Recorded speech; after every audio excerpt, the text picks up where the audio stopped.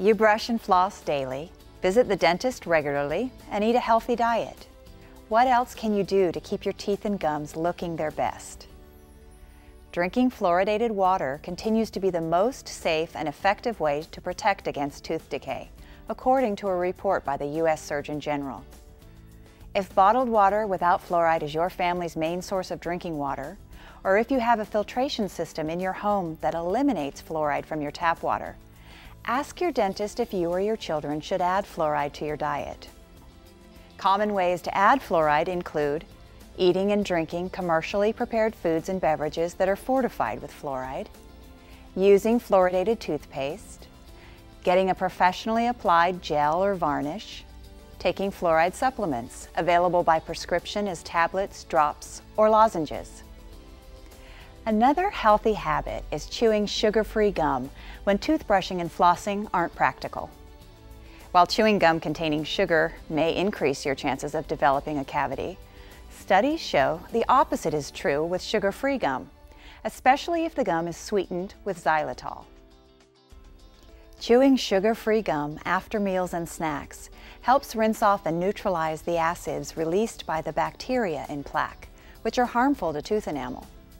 Both the act of chewing and the flavor of the artificial sweeteners in the gum stimulate saliva at 10 times its normal rate. Not only does increased saliva neutralize the acids in your mouth, it also washes away food particles, helping to keep your teeth clean.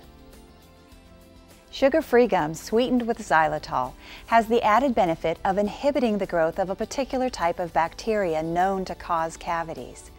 In the presence of xylitol, the bacteria lose the ability to stick to the tooth, which helps to prevent a cavity from forming. Many people are unaware that consuming carbonated beverages, fruit juice, and highly acidic foods like pickles and honey can harm teeth. Regularly chewing and sucking on orange and lemon wedges is especially problematic. The acids in these foods and beverages can cause tooth enamel to wear away and teeth can become sensitive and discolored. Rinsing with water and chewing sugar-free gum are two ways to help neutralize the effects of acidic foods and beverages. Some other tips.